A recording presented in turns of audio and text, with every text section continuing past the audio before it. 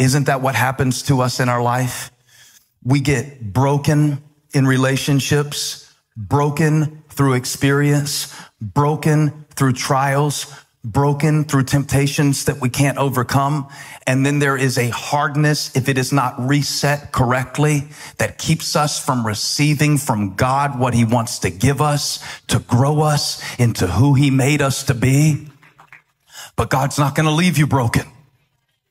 God is not going to leave you with the bone broken and reset so that your heart is harder. He is going to bring you through this brokenness better than when you went into the brokenness.